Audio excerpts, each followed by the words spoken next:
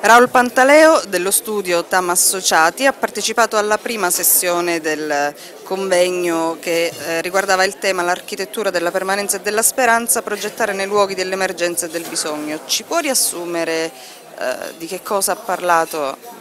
Ma, eh, il nostro studio ormai quasi da vent'anni si occupa di progettare nel sociale, per cui nel mondo della cooperazione, del, del terzo settore, dell'economia solidale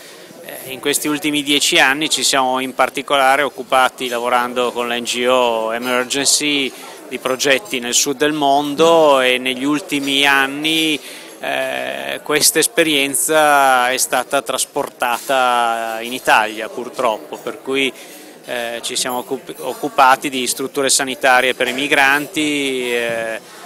in Calabria, a Marghera, stiamo lavorando in Campania e poi strutture mobili che hanno girato la Sicilia e varie, la, la Puglia, per cui diciamo, abbiamo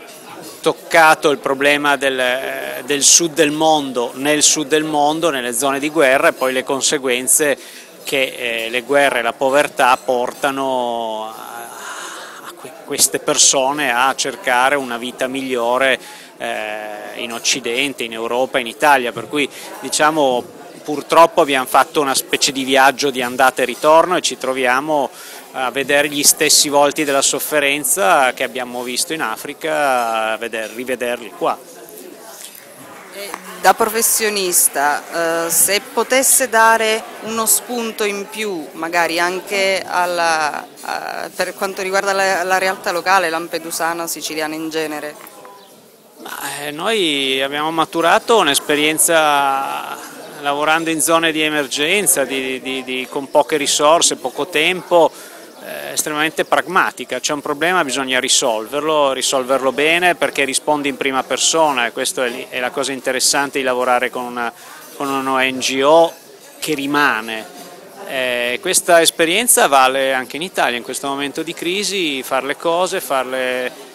con sensatezza, con pragmatismo, nel miglior, nel miglior modo possibile, nel miglior, minor tempo possibile, per cui di fatto non c'è un, un, messaggio che vale per l'Africa o piuttosto che per l'Afghanistan e che vale per l'Italia, l'approccio è sempre lo stesso, è un approccio etico, estetico, pragmatico, economico, hanno tutte la stessa radice queste parole praticamente.